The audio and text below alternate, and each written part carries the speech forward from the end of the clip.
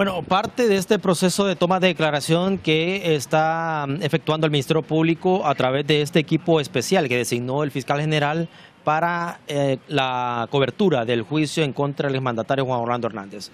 Ahora lo que sigue y luego de las declaraciones en una conferencia de prensa del fiscal general, ya se ha mm, empezado este proceso con el exparlamentario eh, Reinaldo Economo, quien estuvo por espacio de unas eh, tres horas rindiendo su declaración ante este equipo de eh, fiscales de la Fiscalía Especial contra el Crimen Organizado y de la Unidad Fiscal de Apoyo al Proceso de la Depuración Policial en conjunto también con la ATIC.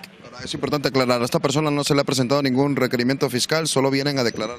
No, recuerde que este es un protocolo, un proceso de investigación y es, normal que se citen a personas a declarar, sobre todo para conocer eh, su versión y para ir eh, construyendo un caso en el cual eh, hay líneas investigativas en algunos casos y en otros para conocer lógicamente la versión de estas personas que fueron mencionadas en su momento en estos juicios relacionados a narcotráfico en Estados Unidos. ¿De momento se tiene alguna otra línea de investigación que tenga Economa que?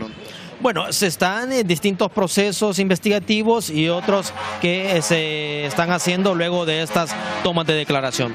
¿Se va a esperar que mañana también se acerque un nuevo diputado, exdiputado que va a...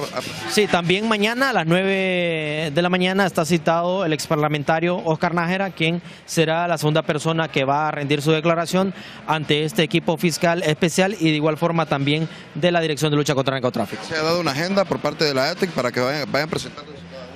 La de esta semana sí, que en este caso correspondía a Reinaldo Economo y eh, mañana el exparlamentario Oscar Nájera. En el transcurso de los días ya iremos conociendo quiénes serán las personas o los nuevos citados. ¿Será uno por día entonces? ¿Se van a realizar?